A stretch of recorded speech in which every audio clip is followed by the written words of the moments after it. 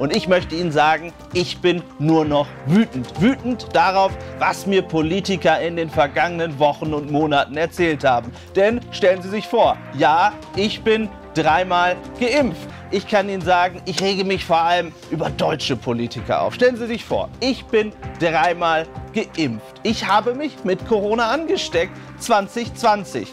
Also bin ich einmal genesen. Und was ist vor zwei Wochen passiert? Ich habe mich wieder mit Corona angesteckt. Ich bin also jetzt doppelt genesen und dreifach geimpft. Ich bin sogar der super, super, super Immune unter uns. Aber dennoch wollen mir Politiker erzählen, dass diese Impfpflicht sein muss. Es geht einfach nicht anders.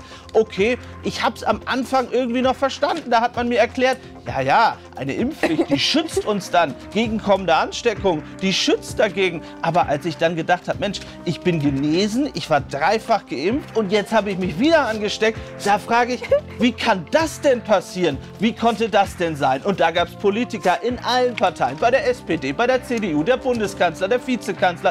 Alle haben mir erzählt, nein, nein, das ist alles schon wahnsinnig sinnvoll, was wir hier besprechen und diskutieren. Die Wahrheit ist doch, die Politiker ändern ihre Meinung in dieser Frage fast wöchentlich. Und das ist desaströs, welches Bild dort abgegeben wird. Denn jetzt, und das ist wirklich die absolute Wahnsinnsaussage in dieser Debatte, da erzählt man uns doch ernsthaft, man müsse sich durch die Impfung für die nächsten Varianten schützen. Ja bitte, also stellen Sie sich vor, ich genesen, dreifach geimpft, jetzt wieder genesen. Ich glaube, ich kriege Corona nochmal und die Politiker haben wieder Quatsch erzählt.